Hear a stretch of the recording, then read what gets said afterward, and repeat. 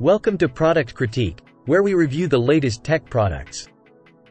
Today, we're taking a closer look at Sony's HTA3000, an entry-level Dolby Atmos soundbar. Let's see if it's worth upgrading your TV's audio. The HTA3000 is the smallest and most affordable option in Sony's HTA series of Dolby Atmos soundbars. While it cuts a few features to reach a lower price point, it still promises to deliver a compelling audio experience. It competes directly with the Sonos Beam, which is typically available at a lower price. Its bigger siblings, the HTA 5000 and award-winning HTA 7000, sit in the mid-range and top-tier categories, respectively. The HTA 3000 shares design cues with its higher-end counterparts, featuring a smooth black plastic build with subtle copper accents.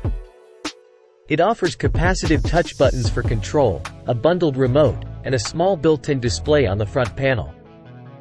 The soundbar's performance is reminiscent of other Sony soundbars in the range, offering decent dynamics and compatibility with major Dolby and DTS formats.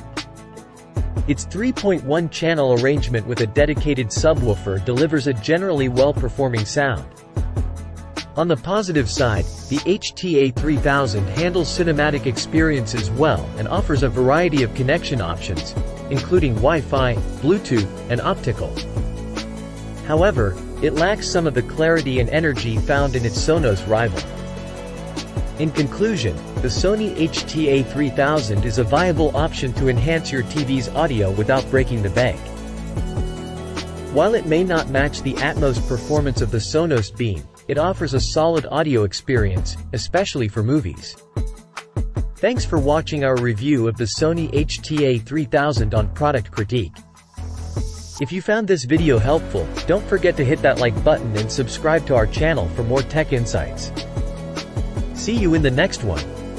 Stay tuned for more reviews and tech updates. Don't forget to hit the notification bell to stay informed. Goodbye for now.